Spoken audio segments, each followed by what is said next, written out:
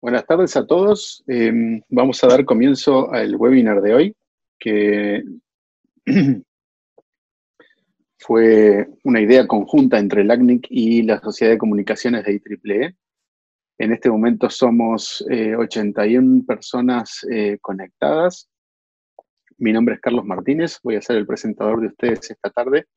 Y antes de comenzar quería eh, comentar un par de detalles. Eh, vamos a tener em, preguntas al final de la exposición. Si ustedes observan, van a ver que dependiendo del, dispositivo que estén utilizando, tienen una herramienta que dice QA o preguntas y respuestas. Esa es el, eh, la herramienta que voy a usar para responder preguntas al final. También tienen una herramienta de chat. El tema es que el chat, al no ser demasiado estructurado, después sí me va a ser difícil este, responder preguntas que estén ahí. De todas maneras, este, lo voy a mirar por arriba a ver si hay algún eh, comentario. De todas maneras, de nuevo, prefiero que utilicen la herramienta de preguntas y respuestas. Bueno, bienvenidos a todos. Eh, gracias por estar con nosotros. Eh, una muy buena convocatoria ha tenido esta actividad y espero que satisfaga las este, expectativas. Mi nombre es Carlos Martínez. Acá tienen un dato de contacto, tienen mi cuenta de Twitter, me pueden mandar mensajes directos ahí si gustan y sobre el final les voy a, pasar mi correo electrónico también. ¿Quién soy? Este, un poquito de comentarles de, mi background. Actualmente soy el gerente de tecnología del ACNIC. el ACNIC es el registro latinoamericano de direcciones, este, de direcciones de Internet. Ahora voy a también comentar un poco acerca del ACNIC porque curiosamente tiene que ver con lo que es la presentación de hoy. Eh, los temas en los cuales eh, trabajo, además de, bueno, de mi rol de, gerente, este, trabajo en temas de versión 6, en RPKI, o sea, seguridad de enrutamiento, temas de DNS y temas de seguridad. Antes del ACNIC trabajé 15 años en operación de un em, proveedor de servicios, trabajé en Antel de Uruguay. Espero que haya alguien de Antel conectado. A mis saludos. Este, y además, eh, actualmente estoy también este, de manera voluntaria en el eh, comité de programa del ACNOG. El ACNOG es el, grupo de operadores de red de América Latina y del Caribe. Y de paso aprovecho a invitarlos. Eh, justamente el ACNOG tiene abierto su eh, llamado a presentación de trabajos. vamos a tener nuestro, nuestro evento anual en octubre. Y bueno, todos los temas que son de operación de redes son bienvenidos a participar. Seguramente, si bien no está 100% confirmado, seguramente el evento de este año va a ser virtual, por las, razones que todos se imaginan. Este, así que, bueno, la, barrera para participar es relativamente pequeña. Los invitamos. Y también participo de eh, las, em, otras cosas, de las ceremonias de firma del DNS, todo un tema eh, vinculado a la seguridad en DNS que quedaría para una charla en sí misma. Entonces, este, voy a comenzar con lo que es la, propia exposición de hoy. Y quería empezar comentando qué es lo que hace el ACNIC, que va a tener un poco que ver con, algo, con algunas cosas que voy a comentar después. LACNIC, como comenté, es el, registro latinoamericano de direcciones de Internet. ¿Qué es lo que hacemos nosotros?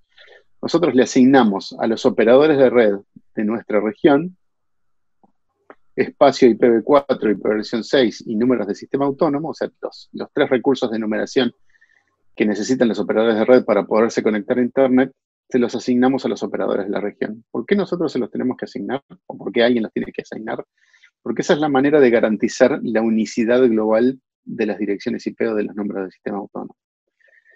Eh, el, problema de garantizar la unicidad de un, registro, de un número, es un problema que no es nuevo en el mundo o en las sociedades y en realidad la mejor forma que este, la humanidad ha logrado resolver este problema es a través de un registro. ¿Qué es un registro en definitiva? Es una forma de sobre simplificando, digamos, alguien lleva en un cuaderno una anotación de quién tiene qué dirección IP. De la misma manera que existe una especie de, cuaderno donde este, la municipalidad anota qué matrículas de vehículos ha otorgado. Ese es el rol de los registros. Los registros en Internet son cinco, hay cinco registros regionales, el ACNI que atiende nuestra región de Latinoamérica y parte del Caribe, Está el registro eh, de América del Norte que se llama ARIN, AFRINIC en África, APENIC en Asia Pacífico y el RIPE-NCC en Europa y partes de Asia, que es Rusia, sobre todo. Em, hay un registro central, que es el que se conoce como el registro de IANA, que es el que tiene las, eh, todos los recursos de numeración, o sea, los, 32 bits de direcciones IP versión 4 y los 128 bits de direcciones IP versión 6 están de alguna manera en el registro de YANA. YANA hace asignaciones a los registros regionales, y aquí hay un mínimo ejemplito.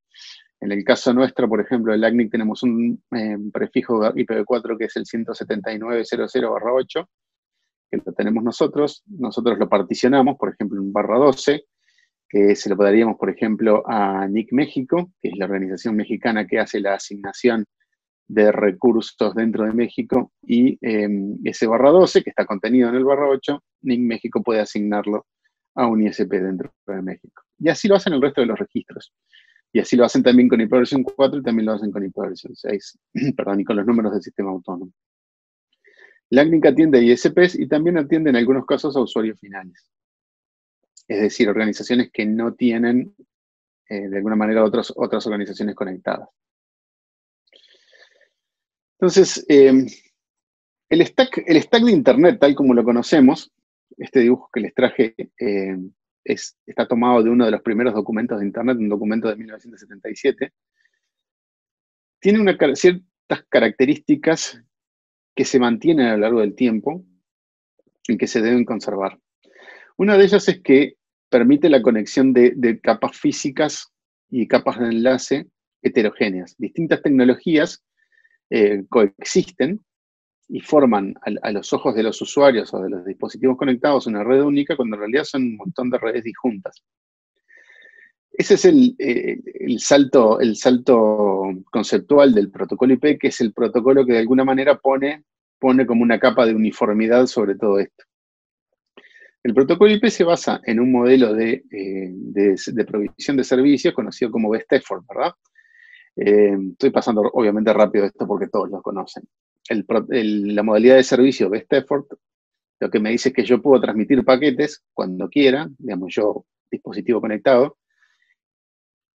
pero la red, si bien la red va a hacer su máximo esfuerzo por entregarlo a destino, la red no me garantiza que eso se va a poder hacer. Y en muchos casos puede llegar a ni siquiera decirme que no lo puedo entregar. Es un problema que es bastante interesante. En algunos casos la red sí me va a poder decir que el paquete fue descartado por alguna razón y en otros casos simplemente se va a perder.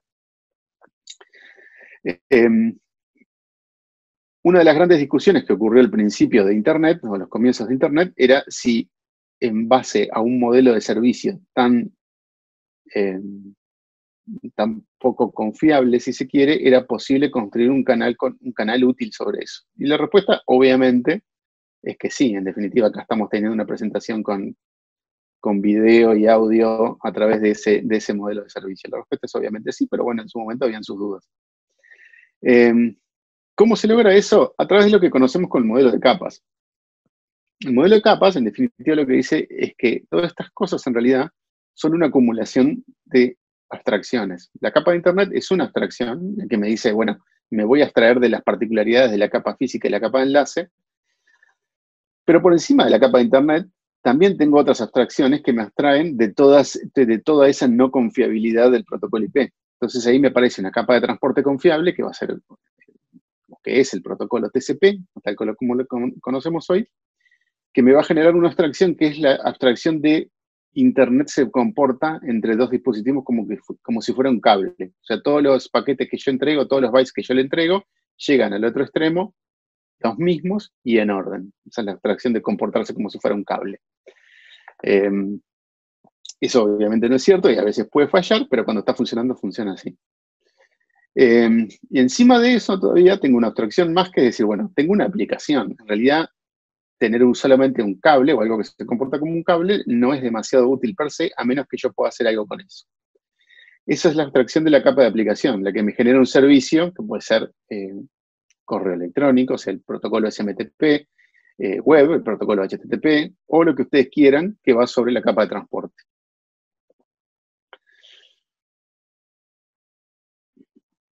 una, pequeña digresión sobre el mundo de los estándares, de dónde salen muchas de las cosas que yo voy a hablar acá. La mayor parte de las cosas que yo voy a mencionar se basan en estándares producidos por un cuerpo que es el IETF, es el, Internet Engineering Task Force. Es, eh, si se quiere, el, organismo de estandarización que produce la mayor parte de los documentos o estándares que están de la capa de Internet hacia arriba. No todos, hay otros actores ahí, Em, de la misma manera que la IEEE produce la mayor parte de los documentos que viven de la capa de Internet hacia abajo. Obviamente hay una superposición y hay una em, colaboración entre todas las organizaciones. De hecho, en los últimos eventos del IETF em, han habido equipos de IEEE haciendo experimentos en la red del evento y en algunos casos se han hecho eventos colocados uno, en el mismo hotel, uno una semana este, a continuación del otro, porque efectivamente hay mucha superposición y mucho espacio para colaborar, eh, pero cada uno de estos organismos de alguna manera tiene su, su, core en, cierta parte de este stack de, pila, de esta pila de protocolos. Está la W3C también, que, está de la aplicación para arriba incluso, pero entre todos tienen que colaborar para producir este, estándares que puedan interoperar entre sí y que nos sean útiles, ¿verdad? Para la provisión de servicio.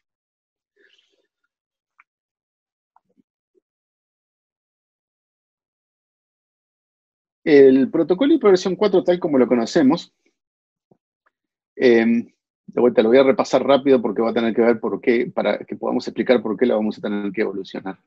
¿Se acuerdan que las direcciones eh, versión 4 son de 32 bits? El protocolo tiene un encabezado que tiene un bloque fijo de unos 20 bytes, pero después tiene una, sección variable de opciones que es em, problemática porque es de largo variable, justamente. Y tiene una observación em, interesante, que es que cómo, cómo, gestiona el problema de la fragmentación. En cualquier em, red IP, el problema de la fragmentación es un problema que surge justamente de la necesidad de interconectar capas de enlace y capas de eh, red disjuntas, o diferentes, o heterogéneas, que pueden tener distintos largos de paquete máximo, distintas MTU. Y versión 4 permite fragmentar salto a salto. Y esto le agrega una complejidad a, todo lo que es el equipamiento intermedio que eh, con el diario del lunes, como decimos en el Río de la Plata, ha resultado ser este, eh, mayor, el, mayor eh, el, esfuerzo que el beneficio. ¿Cuáles son las, las, capas de transporte clásicas en Internet? Son UDP y TCP. UDP es prácticamente nada sobre IP. Es otro datagrama, es un pequeñísimo encabezado de 8 bytes que se monta encima de IP y que en realidad lo único importante que agrega son esos dos campos que dicen puerto de origen y puerto de destino, que son los identificadores que me permiten saber a qué proceso o a qué protocolo, cuando el paquete llega a destino, a qué proceso o qué protocolo del sistema operativo se lo tengo que entregar. Es el concepto de puerto. Em, la siguiente, lo que más, más usamos, es el TCP, ¿verdad? Es el protocolo de transporte confiable eh, de entrega confiable y ordenada, que es clásico en Internet. Em, se basa en un esquema de retransmisiones y una característica interesante que va a tener que ver con alguna cosa que vamos a contestar, más adelante, comentar más adelante, es este fenómeno del, em, del, slow start, ¿verdad? El, mecanismo de control de congestión de eh, TCP se basa en este principio de empezar transmitiendo lentamente irlo incrementando exponencialmente, multiplicándolo por dos básicamente, hasta que se pierde un paquete. Y después me caigo y empiezo de vuelta desde el mismo, desde el mismo nivel anterior, crezco hasta que me caigo de vuelta y así voy, voy en, voy en una especie de diente de sierra de, de estos ciclos de slow start. Esto es muy bueno o era muy bueno en la Internet de hace 30 años porque permitía que la red se pudiera acomodar a la congestión y pudiera responder a la congestión. Como en realidad el tema de la congestión es un tema que gradualmente viene siendo menos problemático que antes, es donde van a aparecer consideraciones de que quizás haya, haga falta tener otros mecanismos de control de flujo. Y el otro tema que tiene TCP y que viene de la mano de esa, no confiabilidad de la capa de Internet es un establecimiento de conexión inicial, un handshake, que es bien costoso en términos de tiempos. Eh, se acordarán de que le llamamos el three-way handshake, el, establecimiento de conexión de tres vías, que necesita de dos round trips, es decir, de un paquete que va y un paquete que viene, antes de poder transmitir algo útil. Este asunto de medir el overhead de las conexiones en cuántos RTTs lo vamos a revisitar a lo largo de esta presentación. Piensen que un RTT sobre todo para los que vivimos lejos del mundo, acá en el sur, eh, en el peor de los casos puede llegar a ser bastante grande. Eh, pueden haber RTTs de 200, 300 milisegundos. Entonces, bueno, ¿cuáles son los problemas del stack actual que debemos eh, tratar de corregir? Em, en el caso de IP, tenemos el gran problema del espacio de direccionamiento. Ese es el gran problema que tiene hoy IP versión 4. Si bien hay otras cosas que se le podrían tratar de mejorar, el principal problema que tiene IP es el agotamiento del espacio de direccionamiento. En el caso de TCP, o sea, a nivel de transporte, acá hay bastantes más cuestiones que son necesarias eh, evolucionar o corregir. Uno es que en este asunto del establecimiento de conexión que yo les comentaba, encima ahora, en, la Internet actual, donde hay una conciencia de la seguridad y la privacidad mucho mayor y que queremos que mucho de nuestro tráfico sea encriptado, además del establecimiento de la conexión TCP, se le agrega la negociación del establecimiento de la conexión de SSL, la negociación de cifrado, que eso a su vez le puede agregar dos RTTs más fácilmente. El control de flujo, que ya lo comenté, y una cosa muy interesante que es que TCP, como les comenté antes, asume que el modelo de servicio que presta es un cable. Para él, todo es un flujo transparente de bytes y no tiene noción de que las capas superiores quizás necesiten o quieran hacer procesamiento paralelo y quieran mandar distintos flujos de bytes en la misma conexión. TCP es incapaz de hacer eso, lo cual genera un problema que se conoce como el head of line blocking, el bloqueo de la cabecera. En hiperversión 6, este, vamos a empezar a, ver cómo, evolucionamos eh, nuestro stack de protocolos. El tema de la hiperversión 6 ya se percibía como un problema en, 1994. Son las primeras menciones a que el asunto del agotamiento de hiperversión 4 es un problema. En ese momento, em, todavía era el momento de eh, la asignación classful de direcciones, pero ya se, se, advierte la necesidad de, primero, de tomar medidas paliativas y segundo, de, eh, necesariamente evolucionar un protocolo nuevo. En ese momento se generó un ciclo de trabajo de como tres o cuatro años aproximadamente, y lo que hoy conocemos como en versión 6 es lo que emergió de ese proceso como la alternativa ganadora. En 1994, eh, al principio, en ese, proceso de discusión a nivel del IETF, se establecieron tres medidas paliativas, que fueron la eliminación del direccionamiento classful.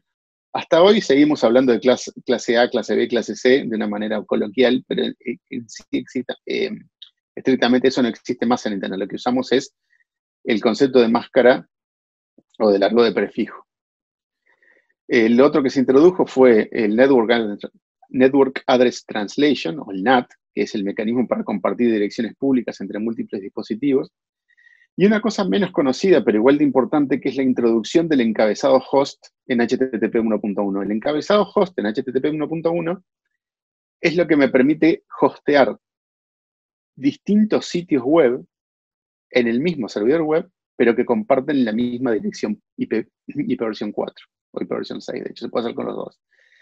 Lo que me permite el encabezado host es decirle a nivel de aplicaciones, como una trampa al modelo capas, este, decirle cuál es en realidad el sitio web que me quiero conectar de todos los que están alojados en esa misma dirección Entonces el NAT es cómo compartir direcciones desde el lado del cliente y host, si quieren, es un mecanismo para compartir eh, distintas direcciones, eh, perdón, la misma dirección pública desde el lado del servidor web. Esta gráfica, que la genera cada un par de meses un investigador australiano que se llama Geoff Houston, eh, les muestra el ciclo de agotamiento de hiperversión 4 desde 2013 hasta la parte. Eh, las líneas de colores son los distintos registros regionales.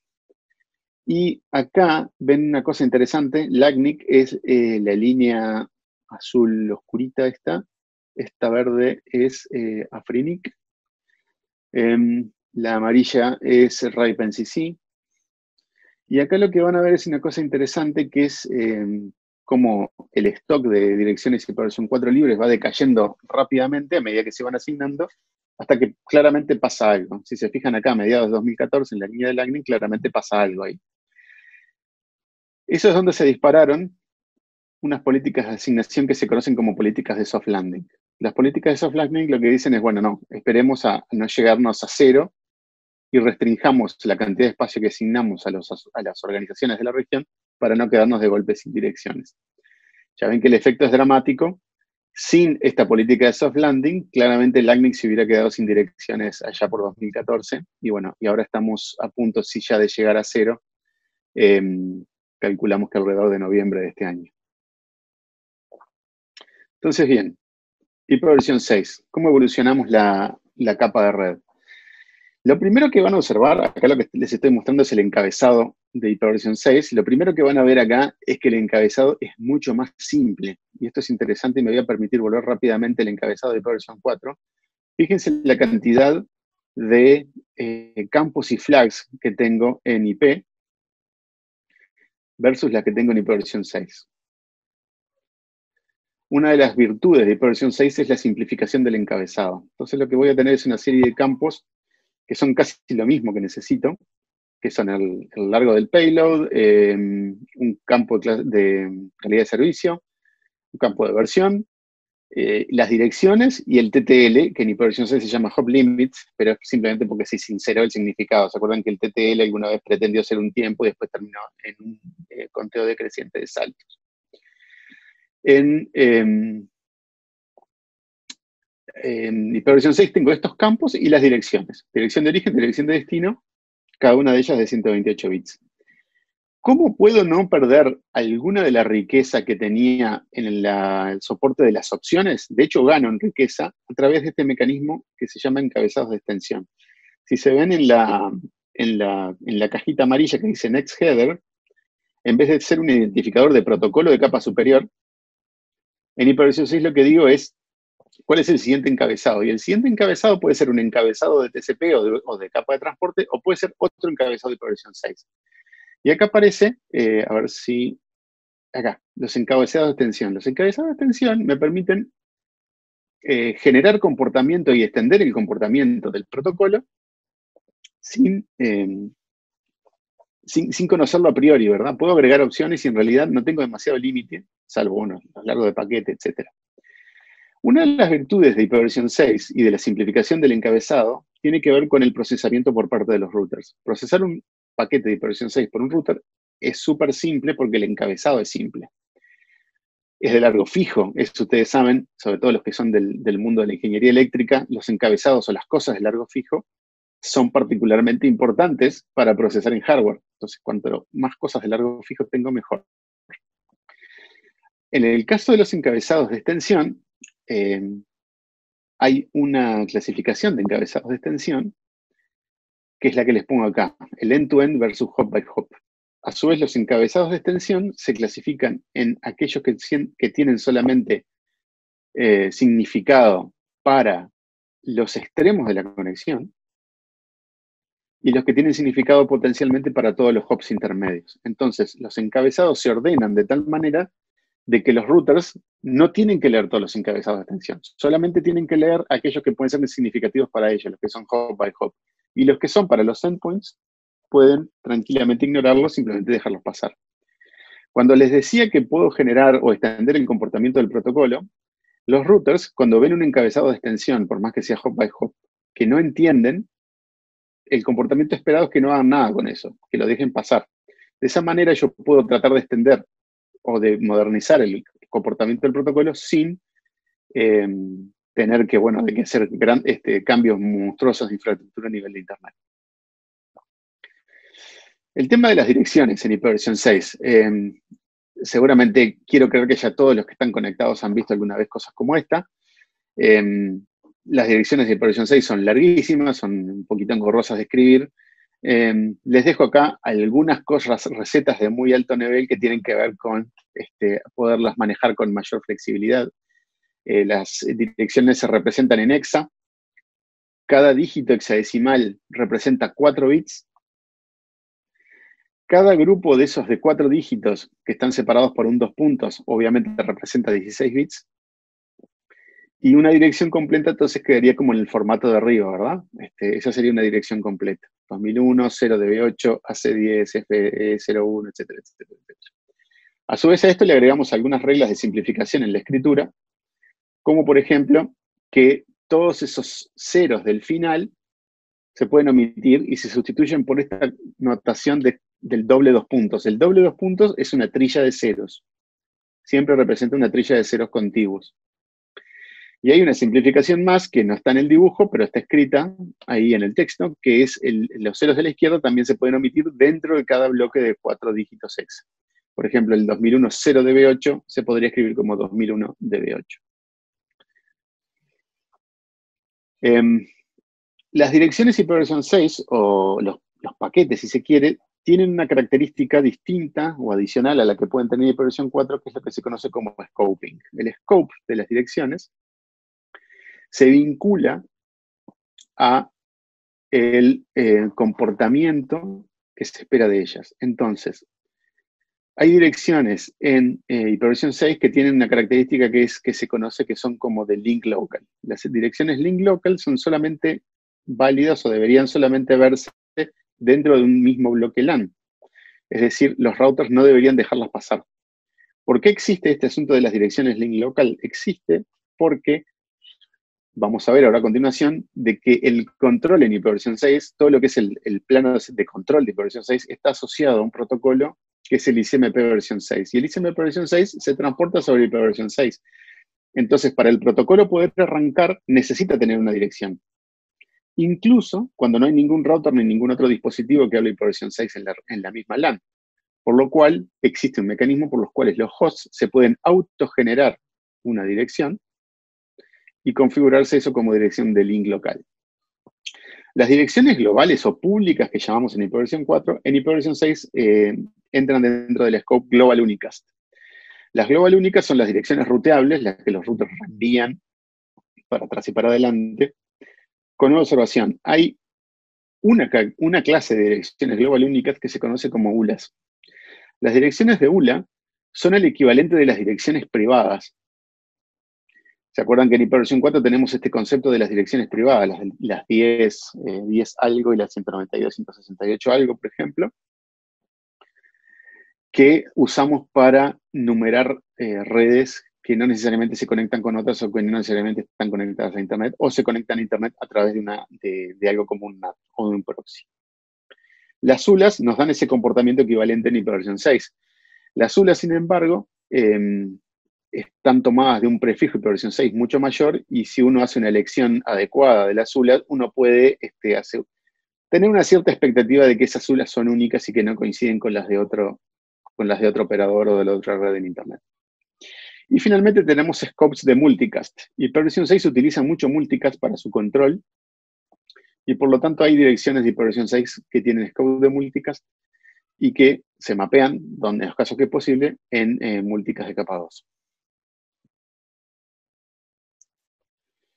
Esto de los encabezados de extensión ya fue comentado. Y entonces ahora venía esta parte de comentarles un poco cómo funciona hiperversión 6 a nivel de plano de control. A nivel de plano de control, em, y cuando hablo de plano de control, hablo de todo lo que son las funcionalidades este, necesarias para que el protocolo pueda funcionar y pueda cumplir con su, con su misión de entregar paquetes a destino.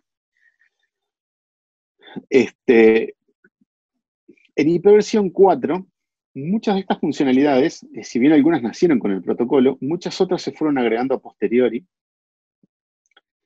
Y eh, eso nos lleva a que en hiperversión 4 hay como asociadas al protocolo de red, hay como una especie de pequeña constelación de protocolos pequeños que hacen cosas específicas, eh, como por ejemplo este, el ICMP previamente dicho, el IGMP para la gestión de multicast, el ARP, em, ¿Se acuerdan que el RP es lo que nos permite mapear las direcciones de hardware o las direcciones Ethernet a direcciones de capa 3? Y GMP es lo que nos permite hacer la gestión de los grupos de multicast y CMP es lo que nos da algunas funciones de control, como por ejemplo la fragmentación es una de ellas, eh, la notificación de no entrega de un paquete por distintas razones también está vinculada a ICMP. ICMP versión 6 concentra todas estas funcionalidades y otras. Y versión 6 es como, un, es como un gran protocolo de control en sí mismo, que como les comentaba, necesita versión 6 para funcionar, por lo cual hay un, hay un, problema de bootstrapping ahí en el cual eh, se hace falta generar direcciones inicialmente para, los, eh, para las interfaces para que puedan hablar ICMP versión 6 y poder proseguir con su funcionamiento. La otra gran funcionalidad que agrega ICMP versión 6, que vale la pena notar, tiene que ver con la autoconfiguración de interfaces. En ipv 6 hablamos de dos mecanismos de autoconfiguración de interfaces, uno con estado y uno sin estado. La autoconfiguración sin estado, que se le conoce también como Slack o Stateless Autoconfiguration, es probablemente lo que más se usa porque funciona con muy poquitos recursos y no requiere de un servidor central. La autoconfiguración con estado es el equivalente del DHCP en IP versión 4. De hecho, se le conoce como DHCP versión 6. Funciona de una manera muy similar con algunas particularidades. Entonces, em, yendo a, algunos casos de, funcionamiento de IP versión 6 y de ICMP versión 6, una de las cosas que tiene que hacer un nodo que hable de ipv 6 es intentar descubrir lo que son sus vecinos. Este descubrimiento de vecinos, y por vecino entendemos a otro dispositivo que habla de ipv 6 que está conectado a la misma LAN, es fundamental para el funcionamiento del protocolo y de alguna forma, de alguna forma, viene a sustituir a lo que es el eh, protocolo ARP. Ustedes se acuerdan que en ARP, cuando yo necesito transmitir un paquete de versión 4, Obviamente tengo la dirección de versión 4 de destino, pero en una LAN no necesariamente tengo la dirección de hardware o la dirección 802.3 de, la interfaz de red de destino. Entonces ahí lo que genero es una mensajería ARP que se basa en utilizar el broadcast. Utilizando el broadcast, yo mando un mensaje en el broadcast de la LAN, que es escuchado por todas las estaciones, preguntándole a todas las estaciones cuál tiene la dirección de destino que estoy buscando. En ipv 6, en realidad lo que establezco son relaciones de vecindad. Las voy a hacer utilizando multicast. No voy a utilizar este broadcast en eh, ipv 6. Hay una dirección, un grupo de multicast, que es el que, tiene, el que está vinculado al Neighbor Discovery. Y el funcionamiento puede ser lo que se conoce como funcionamiento, eh, digamos, Neighbor Discovery solicitado o no solicitado.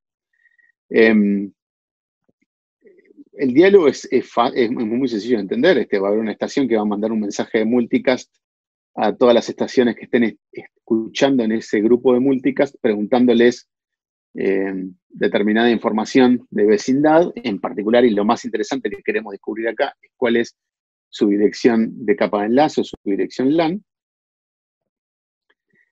Y eh, ese conocimiento le va a servir a todo el stack de protocolos para comunicar esos dos nodos en, un, escenario de multicast se dan cuenta que todos están escuchando, todos los nodos deben estar escuchando en este grupo y se van a nutrir no solo de su intercambio, sino que se van a nutrir del intercambio de todos. O sea, todos van a ir aprendiendo, todas las estaciones que están conectadas a la misma LAN van a ir aprendiendo de los nodos que están conectados. De la misma manera, aplicando criterios parecidos y también usando multicast, las estaciones van a poder descubrir routers, es decir, qué dispositivos les dan el servicio de conectarlos al resto de Internet o al resto de la red. Hay eh, un mensaje de router solicitation en el cual yo puedo responder, pedir un router, o hay mensajes que se conocen como router advertisement o le llamamos muchas veces RAs a secas o por corto, en el cual eh, un router va a poder comentarle a las estaciones de una LAN de que está dando el servicio de reenvío de transporte de paquetes.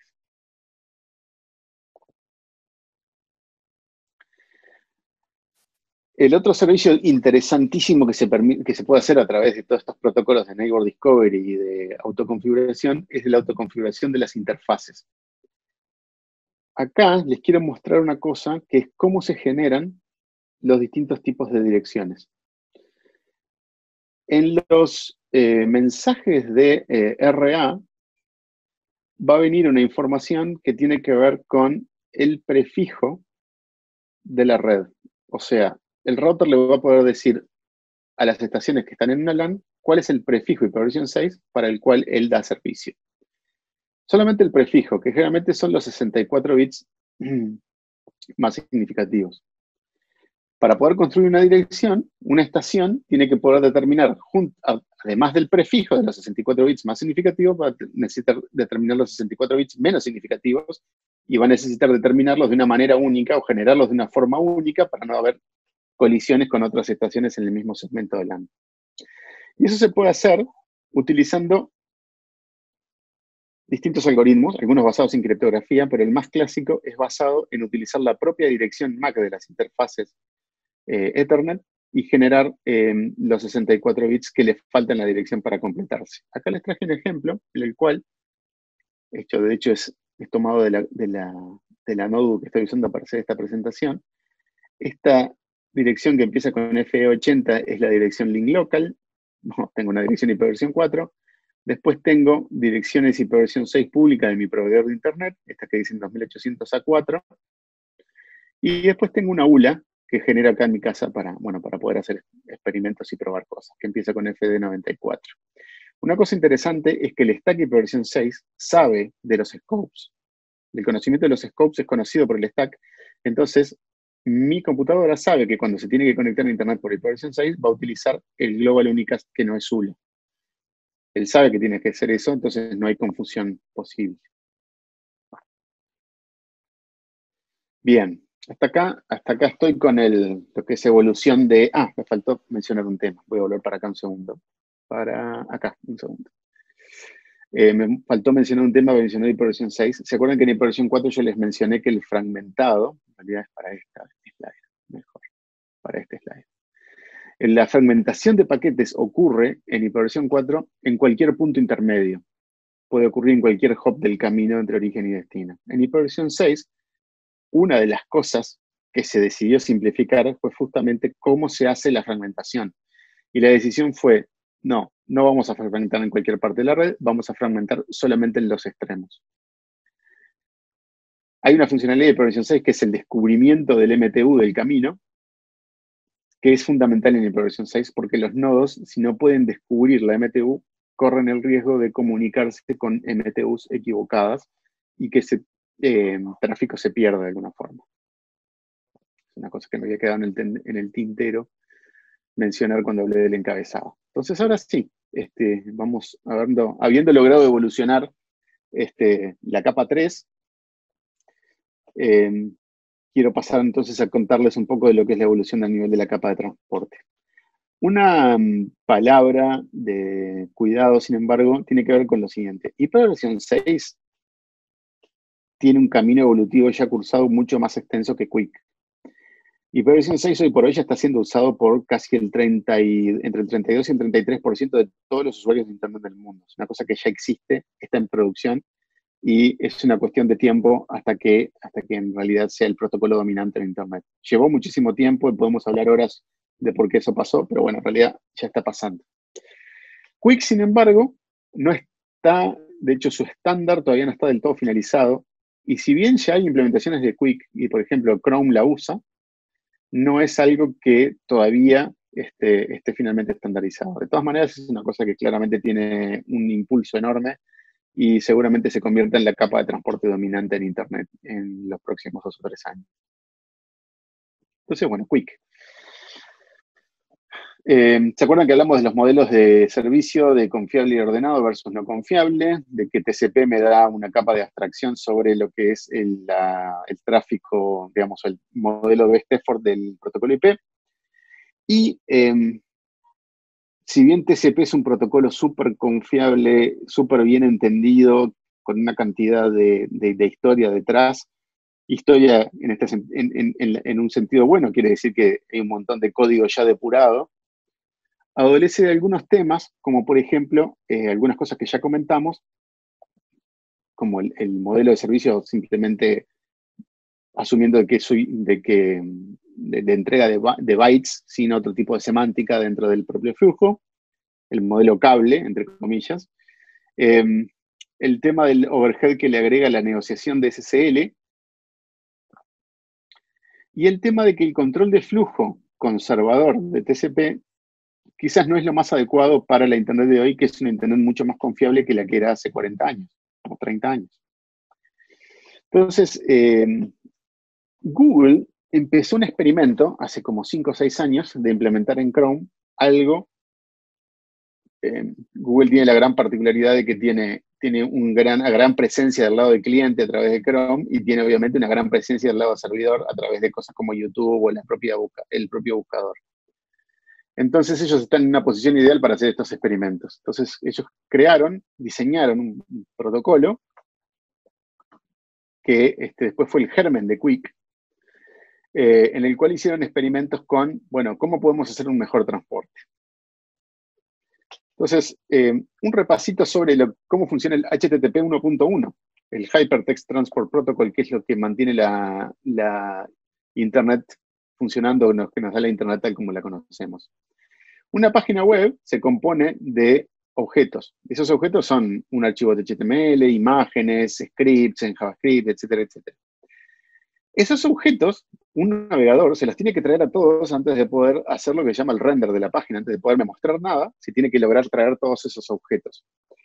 Para traerse cada uno de esos objetos, el navegador en HTTP 1.1 tiene que establecer una conexión TCP. Para cada una de esas conexiones, tiene que ser una negociación de SSL.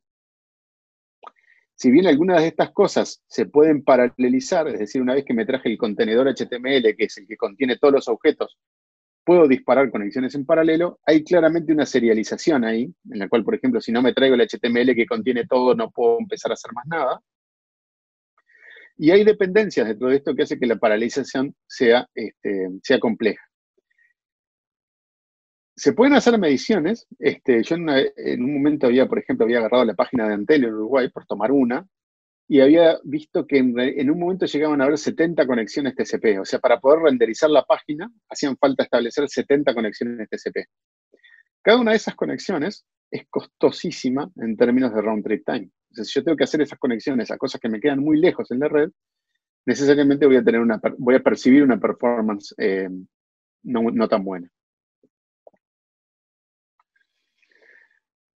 Acá hay mucho head of line blocking.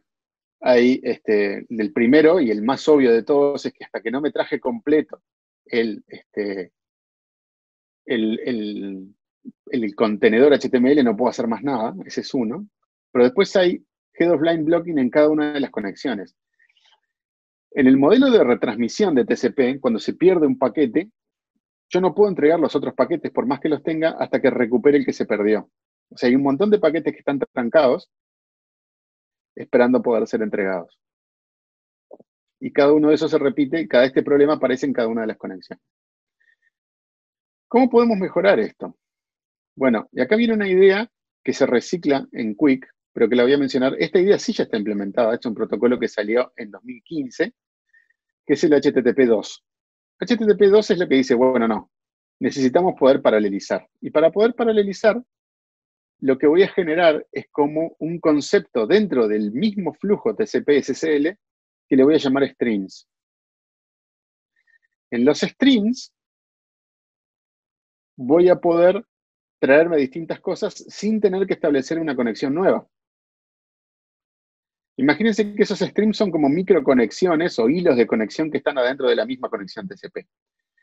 ¿Qué es lo que estoy ganando acá? Estoy ganando que estoy haciendo solamente un establecimiento de TCP y una negociación de SSL. Entonces estoy ganando muchísimo a priori. ¿Qué estoy perdiendo o, o por dónde no estoy pudiendo explotar todo lo que podría ganar? En el sentido de que el head of line blocking acá tiene un efecto devastador que es el siguiente si a mí se me pierde un paquete de esa conexión TCP, entonces me quedan trancados todos los streams. Porque para TCP, todo lo que yo estoy transmitiendo es el mismo flujo de bytes.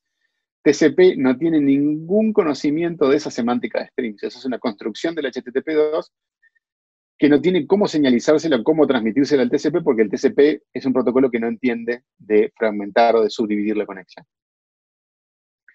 Entonces, hay incluso algunas investigaciones, algunas mediciones que se han hecho en Internet en el cual, dependiendo de qué tan mala es mi red, por encima de determinadas tasas de pérdida de paquetes, HTTP2 performa peor que HTTP 1.1.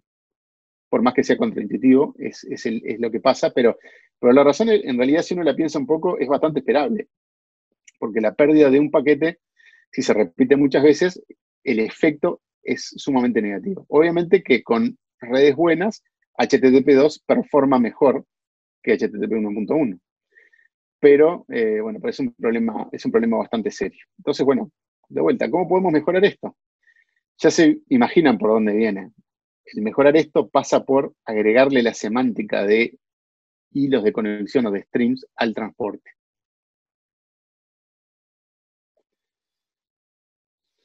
Entonces, bueno, acá es donde aparece Quick. Quick, originalmente, en la, en la época del experimento de Google, que les comentaba, venía de Quick UDP Internet Connections. En realidad, ahora ya este, oficialmente esto no, quiere decir más eso, o sea, es útil para acordarse de algunas cosas, pero estrictamente Quick ya ha pasado a ser una palabra este, de nuestro acervo. Em, Quick eh, aspira a ser un protocolo de transporte que pueda transportar cualquier cosa, cualquier otro protocolo. Hoy por hoy, en realidad, el único mapeo que está definido en Quick es el de HTTP. El objetivo del grupo de trabajo de IETF que está estandarizando Quick, como se encontraron con un volumen de trabajo enorme y una cantidad de problemas bárbaros que tuvieron que resolver, decidieron enfocarse en terminar el transporte y definir solamente el mapeo de HTTP. El mapeo de otros protocolos va a quedar para este, eh, working groups futuros, pero eso no debería ser demasiado difícil. Están todas las piezas creadas en Quick para que el transporte sea genérico. Eh, Quick, como verán, acá aparece el término UDP. Quick no se transporta directamente sobre IP, a pesar de ser un protocolo de transporte, y eh, utiliza UDP. Aparecen esos 8 bytes de UDP, que es un overhead que se decidió pagar eh, por una razón un poco triste, si quieren, este, o por lo menos que a mí me parece un poco triste que la voy a contar a, continuación. El Quick es el estilo de las cosas, los titulares maravillosos, todos juntos, eh, usa cifrado por defecto, tiene el concepto de multiplicación de conexiones, o sea, esto de streams o de subdivisión de la conexión. No sufre de NAT, y ahora les voy a contar por qué. O sea, el NAT eh, Muchos de ustedes eh, sabrán o habrán sufrido de que cuando les cambia la dirección IP de su servicio de Internet, las conexiones TCP que tenían establecidas se cortan. Y eso lo ven en que se les corta el video, que se les corta la llamada que estaban teniendo. Bueno, Quick tiene una funcionalidad embebida que va a permitir hacer lo que se llama NAT rebinding, en el cual va a poder sobrevivir a los cambios de dirección IP y, cambios, este, reasociaciones de NAT. Y tiene una cosa notable que es este asunto del 0 RTT Connection Establishment. El 0 RTT quiere decir que desde el primer paquete puedo transmitir información útil. En, en el stack HTTP2 puedo llegar a tener, si bien es una conexión sola para todos los streams, puedo llegar hasta tener 6 RTTs hasta que pueda transmitir información útil porque tengo los dos del TCP más de 2 a 4 del TLS 1.2. En Quick, el cifrado se hace adoptando TLS 1.3, que a pesar de que es, parece un, cambio menor de 1.2 a 1.3, TLS 1.3 es muy, muy, muy diferente, es un cambio mayor respecto a TLS 1.2, y una de las cosas que soporta TLS 1.3 es una negociación muchísimo más ágil. ¿Por qué utilizamos UDP? Y acá viene la razón triste que les comentaba antes. Es por un fenómeno que se ha observado que es lo que se llama la osificación del stack. La osificación este, en el sentido del endurecimiento o de la, de la resistencia o la, dificultad al cambio.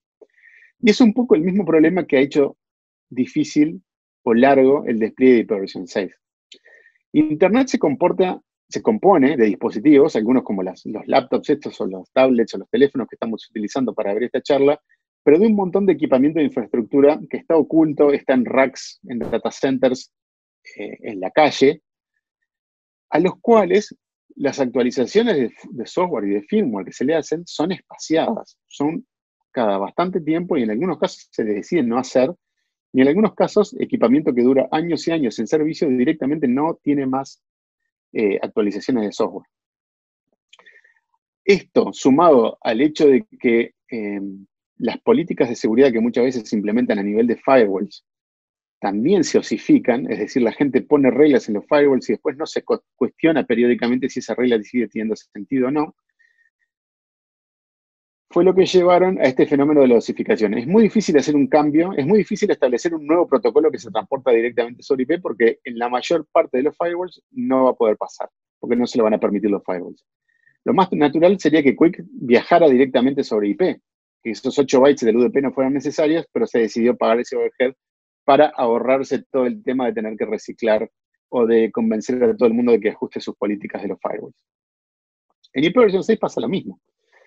Eh, estuvimos añares hasta que se logró de que todos los sistemas operativos de todos los enrutadores soportaban IPv 6.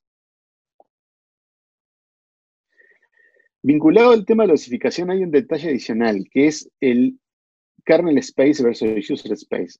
Ustedes saben que las implementaciones de IP y de TCP, y de UDP también obviamente, se hacen en los sistemas operativos a nivel de lo que se llama el kernel, están en el propio sistema operativo y no son una aplicación. Entonces, eso también colabora un poco con la osificación de protocolos, no permitiendo de que esa actualización sea todo lo frecuente que puede ser, porque uno no actualiza el kernel del sistema operativo todo el tiempo. Cuando uno sí actualiza el Chrome todo el tiempo, por ejemplo, o el Firefox o lo que fuera. Entonces, poder tener una aplicación, una implementación del transporte a nivel de user space le permite al protocolo evolucionar mucho más rápido. Eh, ya mm, nos estamos acercando al final. Eh, esto ya lo, ya lo comenté. Eh, Quick puede establecer conexiones en 0 RTT, quiere decir que el primer paquete ya lleva información útil.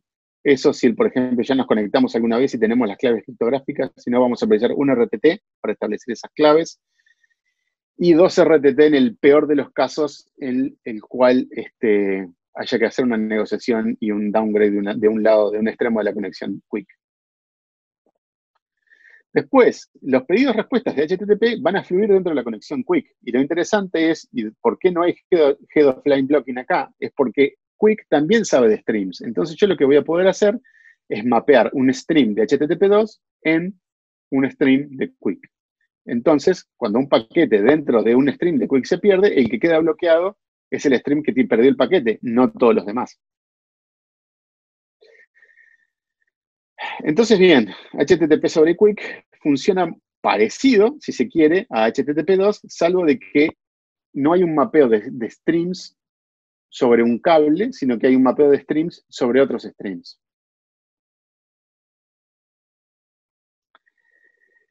Entonces, bueno, repasando algunas de las funcionalidades, ¿por qué digo esperadas acá? Porque, bueno, el estándar no está terminado. Y entonces, si bien ya no parece probable, porque estamos muy cerca, o creo yo, intuyo que estamos muy cerca de que se termine con la estandarización del protocolo, eh, algo se podría caer de esto o quedar para una versión posterior.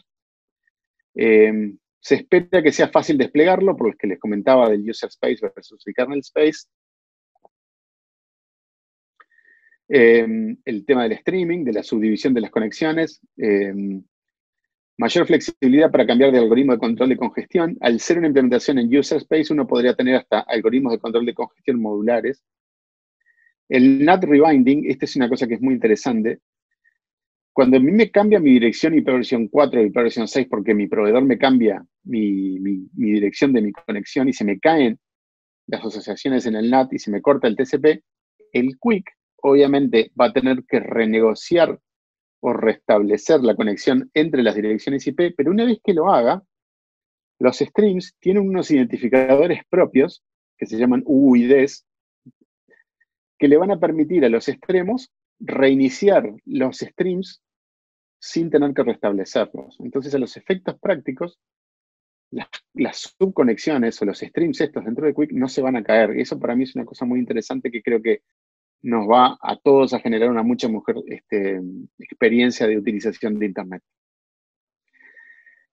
Em, el último, el multipath, se espera, esa es una de las cosas que todavía no está del todo estandarizada, por ejemplo. Ustedes saben de que una de las evoluciones que tuvo TCP en su momento fue lo que se llama TCP multipath, que es el establecimiento de, em, o el establecimiento de una sesión TCP, una conexión TCP, a través de múltiples interfaces físicas. Em, por ejemplo, no sé si es una cosa que está muy implementada, pero por ejemplo Linux lo tiene, eh, el iOS de Apple también lo tiene, el TCP multipath, y es lo que, por ejemplo, hace muy notable como uno en, en, iPhone puede cambiarse de red sin que una llamada de WhatsApp se corte. Es este, ese tipo de usos donde las conexiones multipath son relevantes. Eh, las razones por las cuales utilizamos UDP, bueno, para pasarle por el costado, si se quiere, a la osificación de, la red en general. Eh, y una cosa que que merece también una mención particular es el cifrado por defecto. No va a haber versión de Quick sin cifrado, o sea, no va a haber Quick en texto plano, si se quiere. Y esto no puedo dejar de reconocer que para algunos operadores de red puede llegar a ser problemático, porque no van a tener demasiada visión de qué es lo que está pasando dentro de, los, dentro de las sesiones, dentro de, los, de esos grandes caños quick que llevan muchos streams. Eh, es, es, un problema y no tengo claro por dónde va a venir la solución de eso. Yo supongo que probablemente, o quizás por construir o generar mecanismos de instrumentación dentro del propio Quick que le permitan reportar información, pero es una de las cosas que menos clara hasta el día de hoy. Este, va a ser un tema, sin duda, un tema de discusión. Bueno, ya para ir cerrando, eh, el TCP/IP tal como lo conocemos hoy tiene casi 40 años de evolución. Este, TCP no es que es el mismo tampoco de 1980. TCP ha sufrido una serie de cambios y ha incorporado funciones, ha ido cambiando o modernizando su algoritmo de control de congestión. TCP introdujo el concepto de este de multipath. Eh, TCP introdujo un concepto similar al del 0RTT que se llama TCP Fast Open. Eh, pero de alguna forma no dejan de ser eh, cosas que como que llaman, bueno, cuando uno ya le tuvo que hacer tantos cambios, como que quizás conviene ponerse a pensar en cómo hacer algo nuevo. Esas lecciones que les comento de TCP, no, es que ese conocimiento se perdió. De hecho, el establecimiento de los streams en 0RTT en Quick se parece mucho al algoritmo de TCP Fast Open. Una de las razones por las cuales el, TCP Fast Open no es tan conocido, no está tan disponible, es justamente porque es una implementación a nivel de kernel que hasta el día de hoy no todos los sistemas operativos la tienen. Bueno, en versión 6 esperamos ya poder usar nuestros, nuestro enorme espacio de 128 bits a la brevedad. Y eh, como le decía, bueno, eh, hay una, transparencia muy graciosa que estuve mirando ayer que decía que Quick, eh, Quick es como una fiesta de oldies, en el sentido de que Quick incorpora en una, en una fiesta sola todos los hits de principios de los 2000. que es cierto, muchos de estos conceptos de TCP Fast Open y de TLS 1.3 en realidad no son ideas tan nuevas, sino que fueron este, documentos que el IETF circuló a principios de los 2000 y que están implementados en protocolos en sí mismos, pero por primera vez están todos juntos. Este, me, causó, me causó mucha gracia esa analogía y creo que es muy adecuada. Entonces, este, no me queda mucho más que eh, agradecerles este, y pasaríamos entonces a, ver qué preguntas y comentarios tenemos. Como les comentaba, voy a empezar con este, la ventana de QA y después voy a hacer un repaso por los, los comentarios.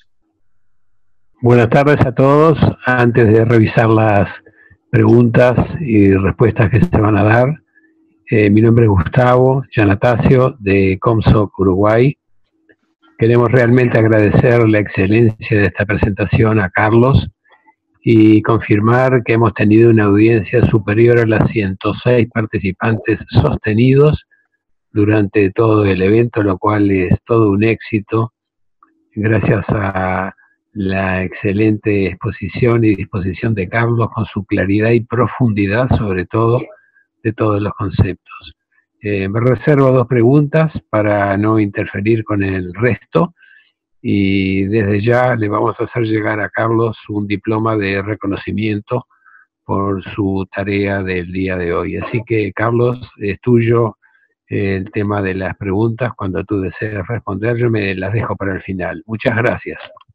Perfecto, Gustavo, gracias. Este, voy a arrancar con la ventana de Q&A. La primera que tenemos es una que dice, hola, hola Verónica, este, gracias por, por habernos acompañado. Eh, Javier pregunta si Quick es propietario de Google. En realidad no, este, eh, Quick es un trabajo del IETF. Eh, lo que hizo Google fue un experimento, la cual también le llamó Quick, pero en realidad lo que hoy el IETF conoce como Quick es muy diferente de lo que Google se había planteado. Este, ya no son la misma cosa. De hecho, en un momento Google tuvo que decidir de qué hacía, si seguía con su camino propietario o adoptaba el Quick del IETF y por suerte, reconocimiento Google ha decidido adoptar el, Quick del IETF. Javier también pregunta cuándo se espera que Quick sea un estándar. Esto es difícil de decir, Javier. Eh, eh, sobre todo ahora con el tema de la pandemia, ha hecho que el trabajo del IETF no, progrese al, ritmo usual. Este, se esperaba que estuviera en diciembre del año pasado. Em, yo calculo que seguramente en este año por lo menos este, se vaya a poder hablar de que hay un estándar de Quick. De todas maneras, les comento, a pesar de que no es un estándar, dado la presencia que tiene Google a nivel de Chrome y del, lado del servidor, se estima que hoy por hoy alrededor del 30% del tráfico de Internet que lleva transporte confiable ya es Quick.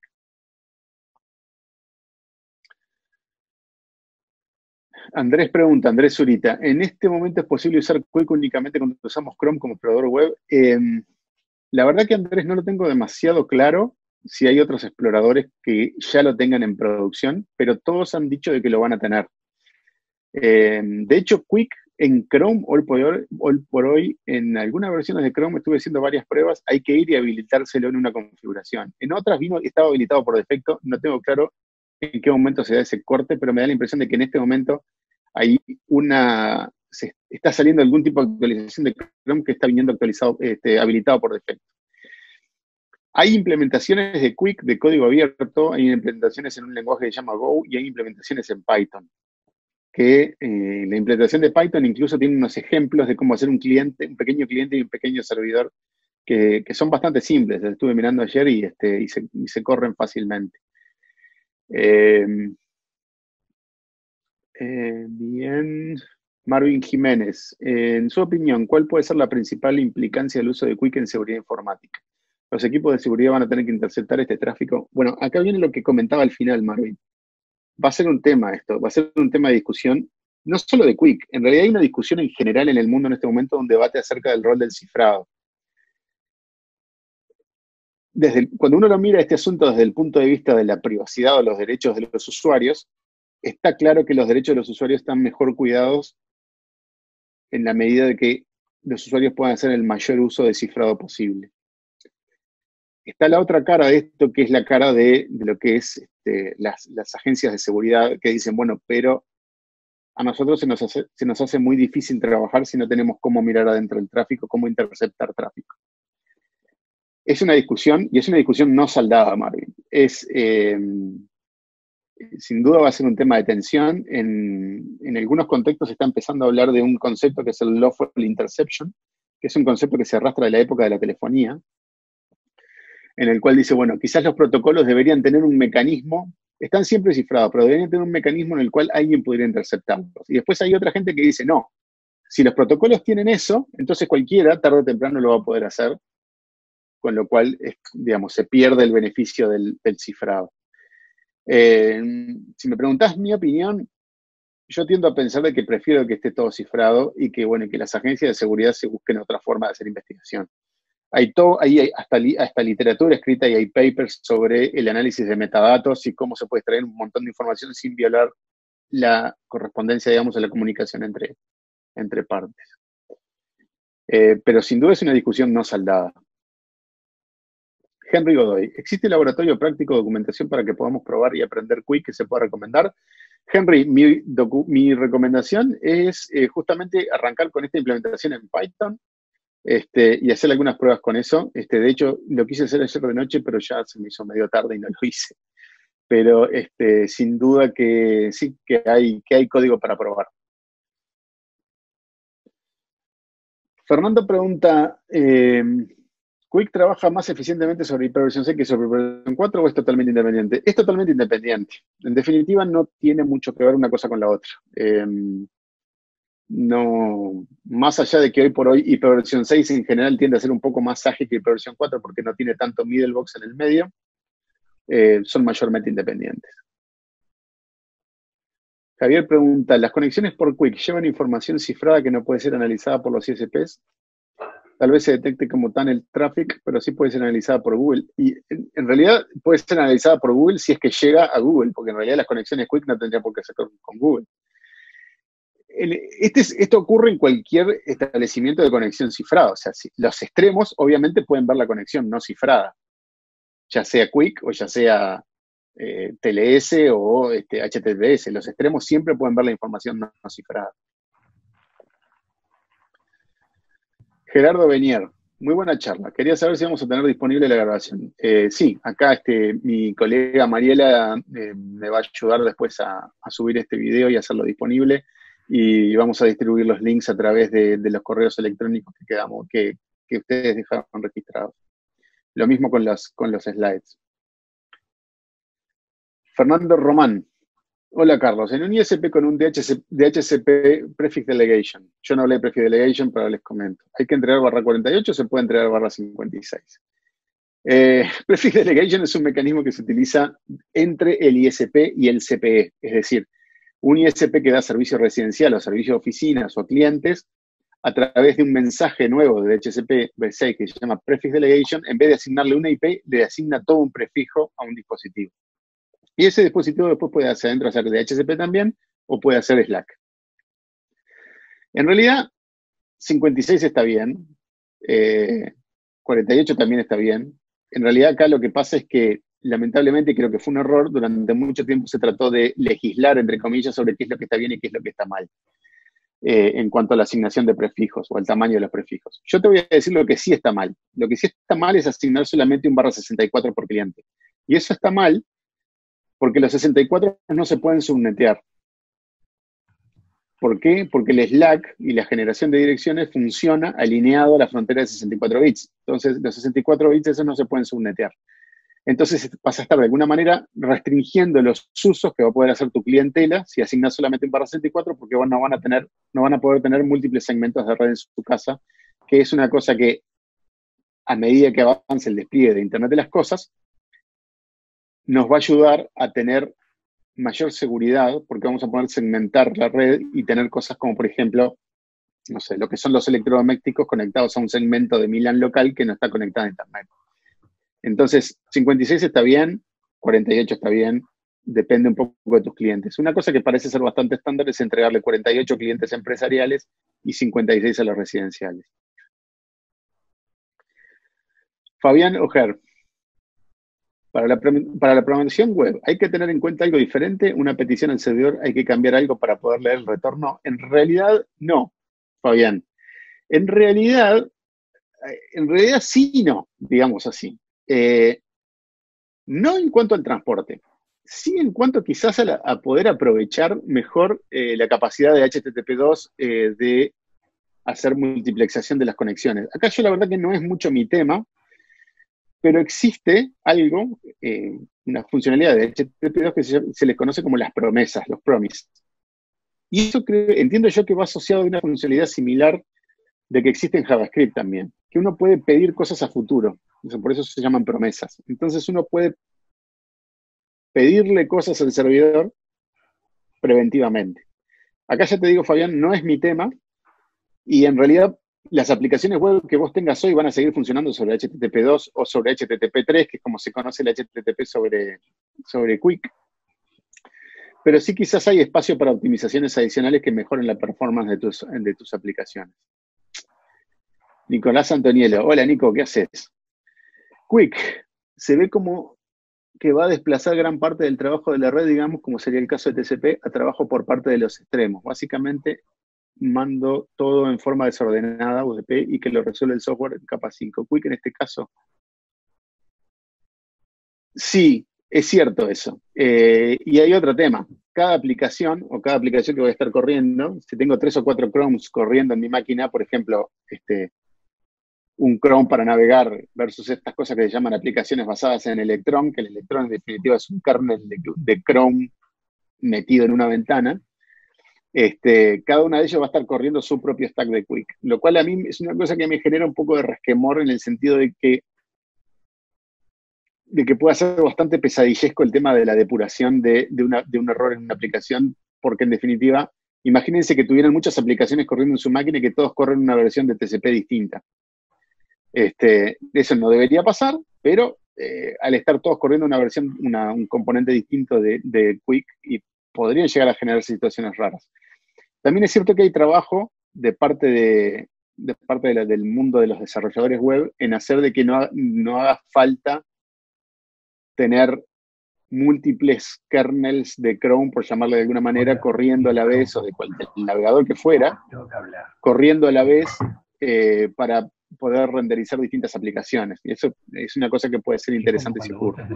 Sobre el tema del, del sobre el tema del desorden, En realidad las redes modernas tienden a no desordenar tanto, pero sí efectivamente es una cosa que, debería, que podría llegar a pasar. La gran virtud de Quick, a diferencia de HTTP2, es que no se te van a bloquear los streams porque se te perdió un paquete de uno.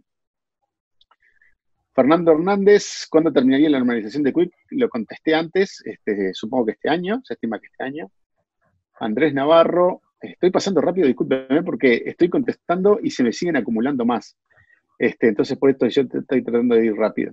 Por lo visto, en IETF Quick todavía está en proceso. Em, ¿Hay versiones ya implementadas aparte de Chrome? Sí. Eh, hay una implementación en Go y una implementación, perdón, hay dos o tres implementaciones en Python en realidad. Hay una que es la que me pareció que es la que está más madura, que tiene unos ejemplos preciosos, muy fáciles de seguir. Y hay también em, una implementación, hay un, hay un servidor web eh, que no es tan conocido como el Apache, pero es un servidor que está siendo muy usado, es muy performante, que se llama Nginx, Nginx ya tiene una versión, eh, no sé si beta o alfa, pero una versión que está por ahí, que ya tiene soporte para HTTP3 y Quick. Eh, Anonymous atendí desde Costa Rica. De cara a nuevas tecnologías basadas en optimización y control de tráfico, las mismas deben irse preparando para esta evolución de capa de transporte. ¿Cómo podemos garantizarnos como operadores que estas plataformas están analizadas a esta evolución? Máxima el tema del agotamiento y versión 4 y bueno, digamos que en realidad las plataformas ya están. Este, en la medida que puedan, que puedan rutear este, UDP sobre IP, eh, ya no van a tener demasiado problema. El tema está, como mencionamos, en el debate del cifrado por defecto y en el uso de herramientas de seguridad o herramientas de gestión de red que dependan de poder ver qué es lo que está dentro del tráfico. Y como le decía, ese es un debate no saldado. Fernando Román, nuevamente, el ISP que hoy está haciendo NAT 444, tiene en cierta medida protegido a los clientes. Eh, cuando pasen a versión 6, ¿cómo hay que protegerlos? Fernando Román, tocaste lo que para mí es una fibra que me hace doler el alma, que es NAT 44 no protege a nadie en esta época de hoy. Este, lo que da es una ilusión de, una ilusión de seguridad, porque por la propia naturaleza del NAT, por defecto no se pueden establecer conexiones desde fuera hacia adentro si no son solicitadas. El mismo comportamiento se puede obtener en IPv 6 con un stateful firewall.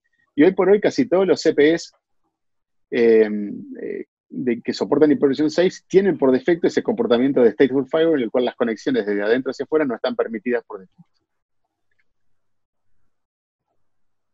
Diego Muñoz, teniendo en cuenta la transición de ipv 4 y ipv 6, los equipos de red eventualmente deben ser totalmente reemplazados. Eh, a esta altura de la vida, Diego, te diría que la mayor parte de las cosas que estás corriendo en red soportan ipv 6, salvo, salvo algún equipo de seguridad muy particular que puedas tener que está muy vinculado a lo que es el análisis de ipv 4. Pero hasta el día de hoy, eh, ya todo lo que tenés debería soportar ipv 6.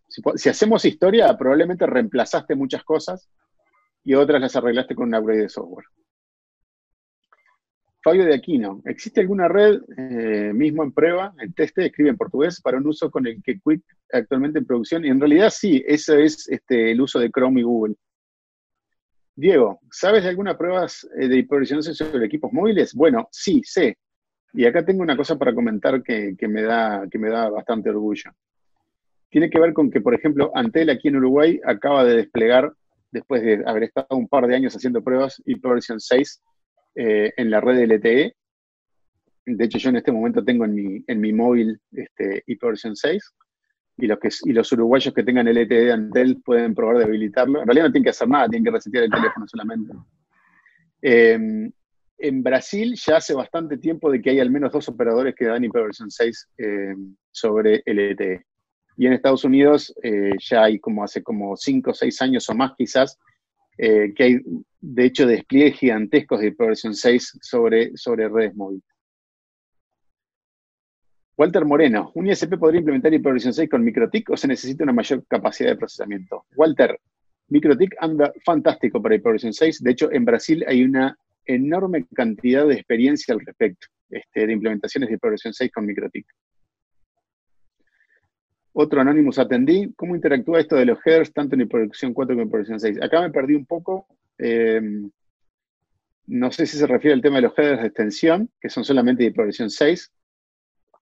Y, imagino que es eso. Cualquier cosa me preguntas nuevamente. De nada, Javier. Eh, de nada. Eh, de nada, Gerardo. Diego. ¿Crees que en un futuro, eh, Diego Muñoz, nuevamente, ¿crees que en un futuro ser corto en el mundo habrá escasez de ingenieros o técnicos capacitados en HyperVision 6? Eh, es muy buena esa pregunta. Eh, en realidad, creo que no. Creo que, creo que en realidad sabe lo que hay. Creo que lo que hay es un poco de miedo que se generó porque las direcciones se ven raras, pero en realidad, y, lo, digo con un poco de autocrítica porque creo que a mí me pasó un poco al principio allá, cuando, allá por 1998, 99, cuando empezamos a ver el tema este en, en Antel, donde yo trabajaba en la época, daba, el, el, Hypervision 6 intimida porque las direcciones se ven raras. intimida porque algunas, sobre todo al principio, allá por principio de los 2000, algunas de las herramientas de diagnóstico que usábamos, los pings y los traceroutes, no andaban exactamente igual. Intimidaba un poco, pero en realidad, si ustedes lo piensan, es lo mismo. Hypervision 6 es lo mismo que Hypervision 4, salvo la concentración de funciones en ICM Hypervision 6 y salvo lo que es la autoconfiguración sin estado de Slack. Salvo esas cosas, el resto de HyperVision 6 es casi lo mismo. Es protocolo de datagramas eh, que se transporta mayormente sobre Ethernet, es lo mismo, funciona igual.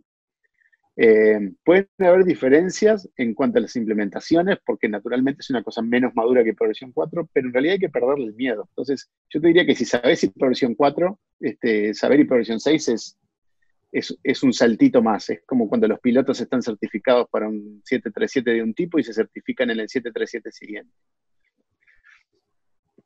Hernán Quinteros, ¿cómo afecta esto a las metodologías de análisis de fallas que, que realizamos comúnmente? Bueno, creo que lo contesté un poco en la anterior. Hoy por hoy em, son las mismas. De hecho, la mayor parte de los sistemas operativos han convergido a que el ping responden, el, mismo ping funciona en HyperVision 4 y en HyperVision 6, dependiendo de lo que le pregunto. ¿A qué le pido hacer el ping? Lo mismo con el traceroute. Eh, les recomiendo, si siguen usando el traceroute o el tracert viejo, les recomiendo que se pasen al MRT, que es un traceroute mucho más potente, eh, pero también funciona igual. Se pierde el concepto de prioridad. ¿Qué pasa en Quality of Services? Eh, no sé si esto se refiere, Hernán, a HyperVision 6 o a Quick, pero creo que te puedo dar una respuesta que engloba los dos. Eh, en HyperVision 6 también hay flags para cantidad de servicio, o se pueden usar, hay un campo que se puede utilizar para eso. Pero a decir verdad, un poco el tema Quality of Service sobre IP es, es una cosa que, que, ha perdido el encanto que tenía. ¿Por qué? En cierto sentido, por culpa de la IEEE, que cada vez que uno se diseña toda una estrategia fantástica para hacer Quality of Service este, a, nivel de, a nivel de capa de red, este, la IEEE va y le da una vuelta de tuerca al, cristal del oscilador de la Ethernet y me hace una Ethernet de 10 veces más rápido. Entonces, en realidad, creo que como, como ingenieros de red hemos perdido un poco el interés en hacer quality of service sobre, sobre IP y simplemente nos sentamos a esperar que la IEEE este, haga un, este, me haga el Ethernet de un terabit o cosas por el estilo. Este, es un paso un poco lo mismo con la congestión. Eh, y sí, en una época, este, me acuerdo hasta, hasta, haber hecho algún trabajo en la universidad sobre, sobre protocolos de notificación de congestión, y cuando me tocó empezar a trabajar en realidad en, operar una red, me di cuenta que en realidad eh, a nadie le importaba notificar la congestión porque la congestión mayormente no existe más. No quiere decir que no era un problema, pero quiere decir que en las redes actuales ya no lo es tanto. Eh, sí, efectivamente, en cierto sentido sí. Erwin Botas. Eh, un proveedor en Costa Rica usualmente le asigna un 48, pero se atribuye una de las 64 para usarlo en la WAN. ¿Qué comentario al respecto? Eh, no mucho, está perfecto. Este, se usa, se puede hacer así, o se puede hacer tomando todos los WANs del mismo, o se puede hacer con que las WANs sean, sean nulas, se puede hacer de distintas maneras. Este, esto de vuelta es eh, decisiones operativas de, cada, de cada ISP y eso no, tengo comentario. Este, en la operación de red las cosas no están ni bien ni mal. Hay cosas que están netamente mal, pero después hay un universo de cosas que pueden estar más o menos bien o más o menos mal, dependiendo de cada escenario, y eso es clave. O sea, depende del contexto muchas veces. Anonymous atendí. Así como sucedió con HyperVision 4, ¿podría mencionarnos, por favor, qué inconvenientes a futuro podría tener HyperVision 6?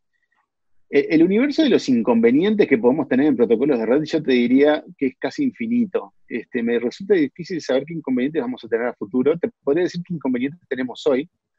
Em, hoy te podría mencionar, por ejemplo, lo que comenté antes de la frontera esa de los 64 bits que no permite subnetear cosas más chicas que 64 bits. Yo creo que eso es un defecto, creo que eso no es, una buena decisión y, no me extrañaría de que, que, eso se revise a futuro. No, no, no pronto, pero en algún momento no me extrañaría que eso se revise. Ese es un inconveniente que tenemos hoy. El otro inconveniente, curiosamente, eh, tiene que ver con el uso de multicast, que a priori parece una idea brillante. ¿Por qué usar broadcast cuando en realidad lo que necesito es multicast?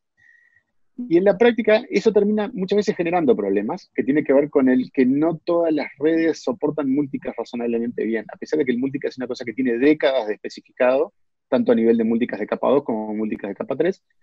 Muchas redes y muchos equipos siguen sin implementarlo bien. Eh, en ese contexto, y bueno, y el, y de MTU Discovery. El Path de MTU Discovery es, y versión 6 depende de que los nodos del ecosistema puedan descubrir la MTU del camino. Si no la pueden descubrir bien, va a haber problema de comunicación. Y estas políticas de, de seguridad, de filtrar todo paranoicamente, llevan a que uno filtre el ICMP, o que mucha gente filtre el ICMP, y el descubrimiento del Path MTU depende del ICMP versión 6. Entonces, ese es un inconveniente. El filtrado, yo diría, eh, enfermizo del ICMP lleva a que el, la, el MTU Discovery no funcione de la mejor manera. Estos son los inconvenientes que tenemos hoy. Seguro vamos a, descubrir este, inconvenientes futuros.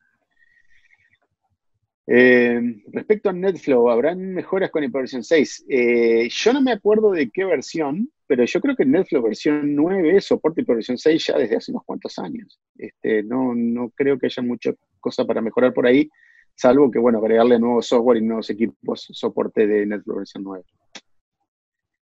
Walter Moreno, estimativamente, ¿en cuánto tiempo podría dejar de existir versión 4? Eh, yo creo que no va a dejar de existir nunca. Yo creo que yo me voy a jubilar y va a seguir habiendo cosas que andan sobre versión 4. Eh, les cuento que hasta hace, no hace mucho, este, yo dejé de trabajar en Antel en 2010, o sea, no hace tanto tiempo. En 2010, si ustedes hacían un Wireshark o un TCP dump en la red de producción de Antel, seguía habiendo tráfico SNA y seguía habiendo tráfico IPX. ¿De dónde venía? No tengo idea. Este, eh, pero eran cosas que se habían dejado de usar hace muchísimo tiempo.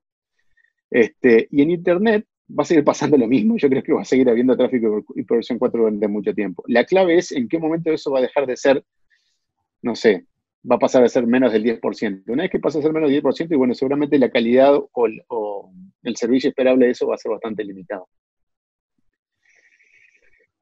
Si podría hacer un webinar sobre DNS en Hypervision 6 con Unbound. Eh, bueno, eh, no soy un gran usuario de Unbound, pero puede ser. De hecho, lo he estado mirando el Unbound por otra cosa. Este, bueno, tomo el desafío. Hernán, eh, que dependa de la MTU del camino, eso me indicaría como que el camino es único para toda la comunicación. Eh, sí, es cierto, o sea, los caminos no son constantes, eso es tal cual. El tema es que se le llama paz MTU porque en realidad el camino, si bien no, es, no hay ninguna garantía de que sea constante o, o sea fijo o permanente, el camino en realidad no cambia con tanta frecuencia. Incluso cuando cambia con frecuencia, que es cuando, por ejemplo, uno tiene tráfico asimétrico o tiene eh, eh, balanceo de carga entre distintos enlaces en un, punto intermedio, eh, ese cambio es relativamente predecible. Este, entonces hay esta abstracción que se le llama Path MTU.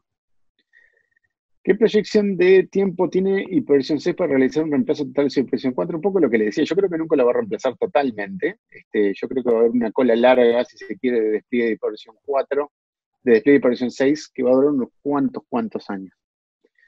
Y bueno, y con esta este, estoy llegando al final. Este, eh, Carlos, si me olvidé alguno. No, eh, Carlos, te iba a decir que todas las preguntas que se presentaron en el chat. Si me llamaste en 15 minutos, gracias. Sí. Eh, Carlos te decía que, mm, que todas las preguntas que se habían hecho en el chat ya fueron pasadas a la sección de preguntas y respuestas, así que contestaste todo. Excelente. Buenísimo. Buenísimo, buenísimo. Bueno, no me queda más que agradecerles y agradecerle también las, palabras tan, tan lindas de Gustavo y agradecer eh, también a, IEEE, de hecho, la, invitación para realizar esta actividad conjunta. Y bueno. Vamos, eh, acá está Gustavo que está tratando de hacer una pregunta sin interrumpir a todo el resto, que fueron muy, muy buenas preguntas todas. Y es un poco una pregunta que está en el borde del tema, referente a protocolos de ruteo. En el caso de IPv4 y V6, hay protocolos de ruteo diferentes, digamos, para routers que están eh, estacionarios, pero en el caso de routers montados en vehículos, por ejemplo, que están cambiando la topología constantemente, hay otra serie de protocolos de ruteo, por lo menos que yo recuerde, de versión 4, y no estoy seguro si versión 6 tiene a su vez esta otra serie de protocolos de ruteo pensados para routers que están cambiando la topología constantemente, como es el caso de vehículos que se desplazan de barcos o de vehículos de asistencia policial, médica, etcétera. No sé si algo de eso existe. Eh, tengo entendido que sí. De vuelta no es mucho mi tema, Gustavo. Tengo entendido que sí. De hecho, hay una cantidad de, de, trabajos satélite alrededor de versión 6 en el IETF que está vinculado a complementar funcionalidades de versión 6 para determinado caso de uso. Entiendo de que sí, de que efectivamente algunos de esos protocolos eh, están reciclados para versión 6 también. Este, de hecho, entiendo que también hay alguna cosa nueva. Eh, pero la verdad que tendría que ir a fijarme en qué están. De hecho, este, IETF hay un working group que trabaja sobre, ese, sobre esos temas, pero la verdad que no es una cosa que yo siga. Entiendo que sí hay, pero no, ya te digo, no, tengo una respuesta concreta para darte. Bueno, excelente. De todas formas, muchísimas gracias. Y además invito a los participantes que acudan al sitio web de CONSOC Latinoamérica, esto es CONSOC LA, Ahí se anuncian los eh, futuros webinars. Este, vamos a tener el 26, uno vinculado con Internet de las Cosas, blockchain y otras tecnologías de leyes distribuidos y están todos invitados. Desde ya a la CNIC, muchísimas gracias por el apoyo y felicitaciones por el webinar de hoy. Gracias, Gustavo. Quería agradecerle a, mi colega Mariela Rocha, que ha estado acá todo este rato con nosotros y me ha apoyado en todo momento. Mariela es este, una experta en hiperversión 6, este, así que en cualquier momento también ella les va a poder responder las consultas que ustedes tengan. Eh, gracias a todos y Mariela, podemos ir cerrando la grabación por acá, capaz. Perfecto, Carlos, salió todo muy bien, se escuchó muy bien y como vos dijiste, en los próximos días van a recibir todos los registrados su correo electrónico, la URL, donde van a contar con la grabación y con tu presentación. Gracias. Gracias a todos, hasta luego.